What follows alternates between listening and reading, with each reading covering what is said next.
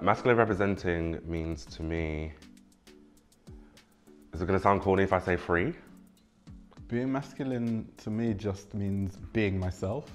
Um, I don't feel like I have to try to be masculine or feminine. I'm just me. I, I just do things the way I do.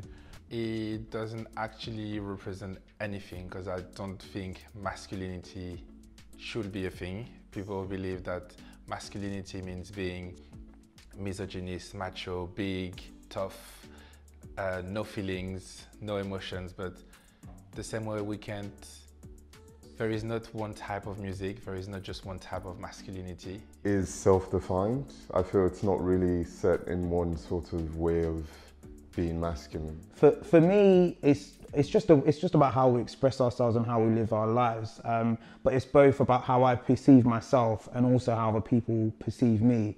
Growing up, I used to think being masculine was like the stereotypical having big muscles or having a six pack, like a low voice, being tall, that kind of thing. But I think as I've got older, I think for me personally, it's more being strong and being able to stick up for yourself and be confident in what you believe in, that kind of thing. I think I like that people assume first, sort of, because when with like gender roles and how like things have been in life, when people see you as like, oh, he's just a guy, he's just a guy, you can kind of stay under the radar. I feel pressure to feel masculine when I'm just before I'm getting ready to go out before I get ready, I'm like, okay, I should dress in a certain way because that's what the world like thinks of me. So I grew up in a really strict religious background. Um, so I felt pressured to be more masculine, but as time goes on, I'm becoming more myself and a bit of the feminine element is mixing in my masculinity, so it's a bit of a mix at the moment. I, in, now that I'm in my 20s, not so much. I'd probably say only in spaces like the barbershop or something where you feel you have to sort of, not to come across as too expressive. I would find myself always having to sort of reserve myself almost in those sort of spaces. Often black men are objectified and hypersexualized. They think black men have to be big, muscly, and um, if you're not represent, if you're not basically a representation of that, they're even wondering why you're here? No, I don't feel pressured. I think as I've got older, I think I've learnt that you just have to be yourself and you don't have to feel like you have to fit into being masculine or feminine. Like you should just be who you think you should be or who you think you are. Um, at work mainly, um, it's been very positive. Uh, I think I'm out to all my all of my colleagues, uh, you know, as as a queer person, as a person who organises queer events. Um, in the world in general, I, I have had a few incidents of homophobia. It's never really been something that has affected me deeply.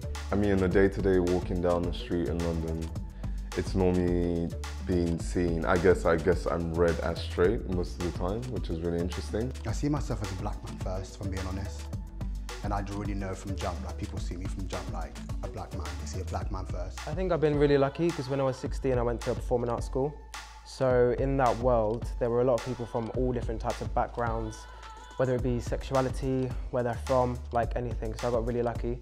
I think it's really important to express yourself and have your individual style because growing up, I've never had anyone who looked like me now to look up to. I never had any example and I was really lost.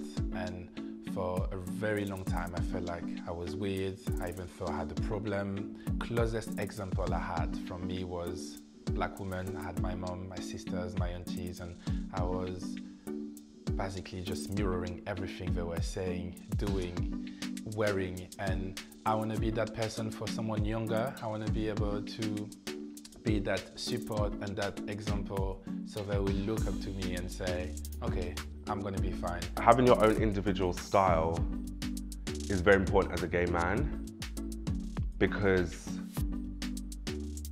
it stands you out again like the media they show you in a different represent they show you the representation of being aggressive but or being gay you have to be very flamboyant or you have to be very masculine or you have to be something that we're not so I think when you have your own style and how important it is to you it sort of shows off your personality. People are individuals but we also have this kind of history as well.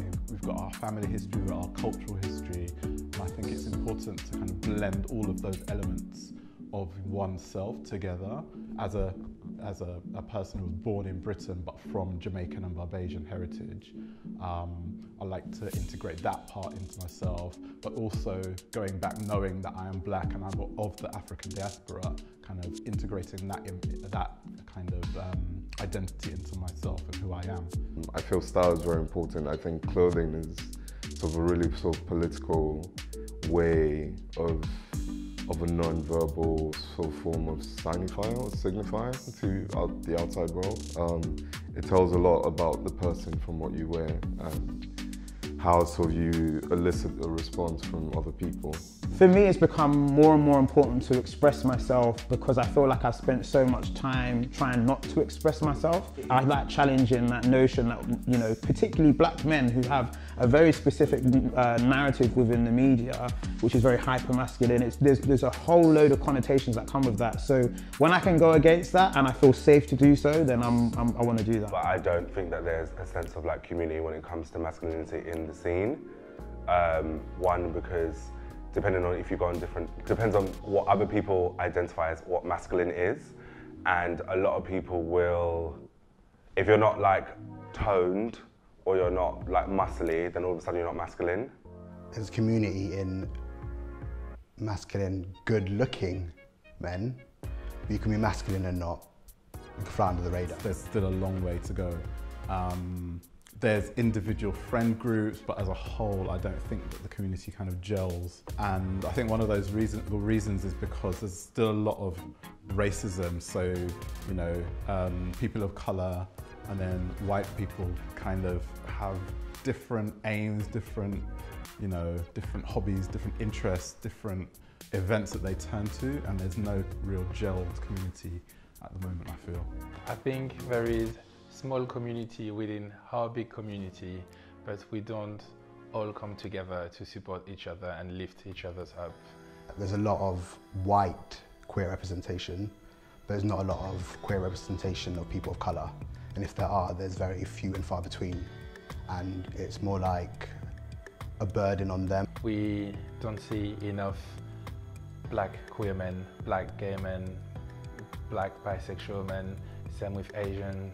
And um, I think there is a big lack of that. The only few you will see gonna be either really well-groomed man with no hair, uh, dressed really well, like the guy from Queer Eye, but we're not all like this. I don't really identify a lot with the representations I see in the media.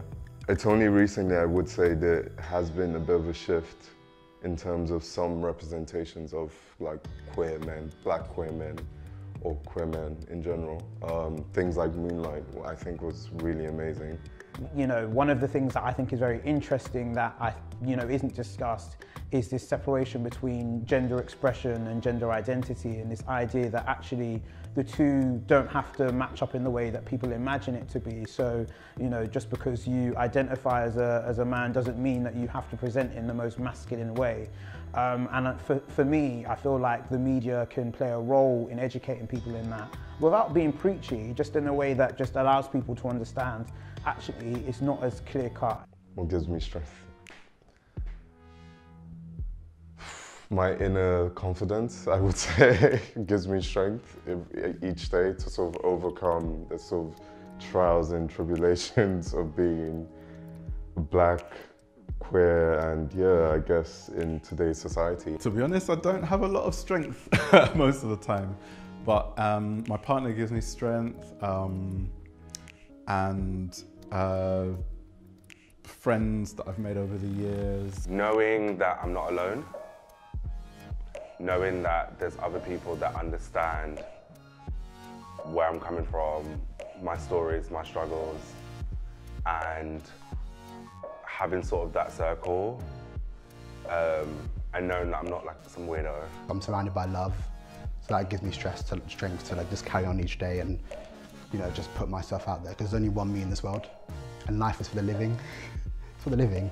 I find strength in knowing that okay, yes, things in terms of equality in the UK feel like they're moving slowly. I find strength in the idea that things aren't exactly the same as they were 10 years ago. There are a lot of issues that I feel like we're repeating ourselves on.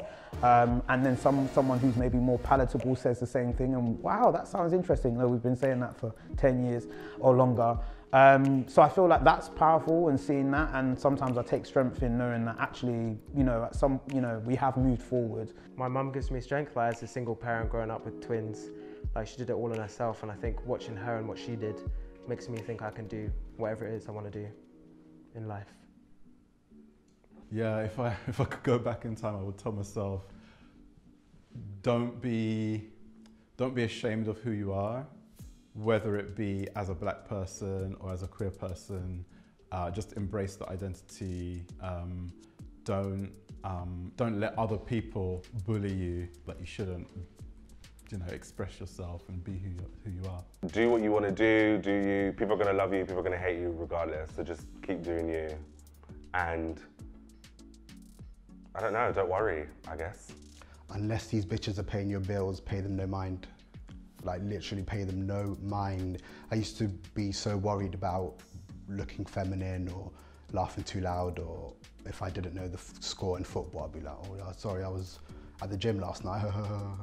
I would probably tell my younger self to be comfortable being on your own and knowing that you don't have to fit in with whatever, with the crowd. Like, you're fine being on your own and there's a self strength you draw from that. You are able to understand understand yourself better.